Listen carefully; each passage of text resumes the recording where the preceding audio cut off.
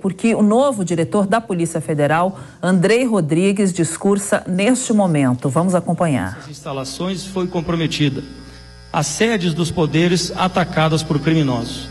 A violência virtual mostrou a sua face real e materializou-se perigosamente diante de todos nós.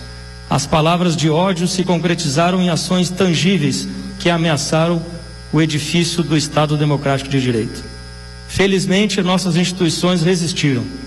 Desinformação em massa, manipulação, ameaças e mesmo ações terroristas não intimidaram os órgãos responsáveis pela guarda da Constituição Federal, pela guarda da Constituição Federal e pela garantia do respeito à soberania popular.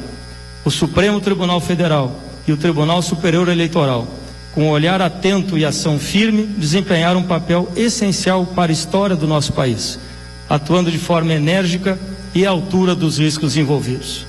E aqui não posso deixar de fazer uma menção especial ao ministro Alexandre de Moraes, que com muita coragem e determinação tem sido um grande defensor da democracia nesse país.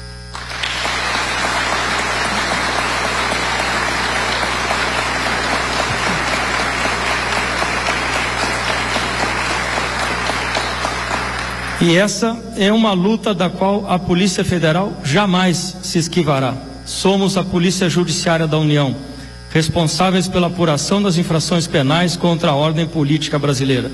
Atuaremos com muita firmeza e nos estritos termos da lei, como deve ser uma instituição de Estado.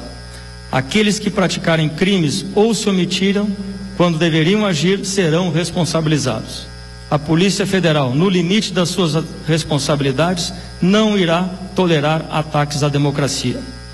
E é com grande senso de responsabilidade que seguiremos nosso papel de instituição de Estado, fiéis aos princípios e valores da Constituição de 1988, cientes de que as agências de cumprimento da lei são as guardiãs da espada da justiça.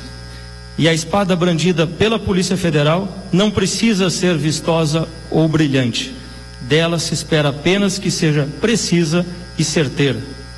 Para concluir, senhor ministro, com o nosso compromisso de sermos rápidos, é, ao tempo que eu agradeço esse seu voto de confiança depositado em mim e na minha equipe, é, quero destacar que não carregarei o peso dessa missão solitariamente sobre os meus próprios ombros.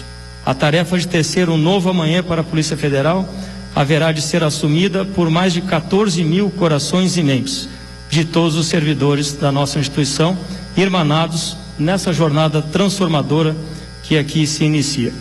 Muito obrigado a todos.